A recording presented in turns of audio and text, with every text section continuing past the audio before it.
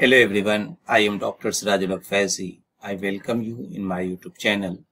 Today in this video, I am going to show you derivatives of phenol. You know my friends, phenol and their derivatives play very important role in chemistry. So you can see here, this is the benzene and one hydrogen of benzene is replaced by OH. Then we call it phenol. Now another hydrogen is also replaced by OH. Then we call it catechol. So what is the catechol and what is the resorcinol? Where is the differences?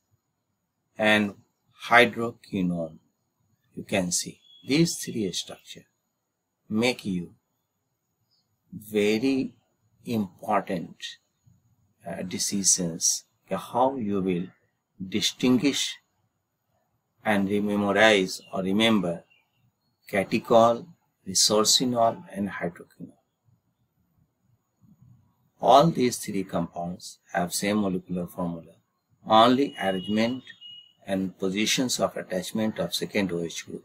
Here ortho 1,2 dihydroxy 1,3 dihydroxy then we called it resorcinol 1,4 dihydroxy then it is called hydroquinone. Now if you change OH with methyl then this is the orthocresol and this is the paracresol. So these six compounds which belongs to the aromatic compounds and have this catechol, resorcinol and hydroquinone only different with the positions of the OH groups.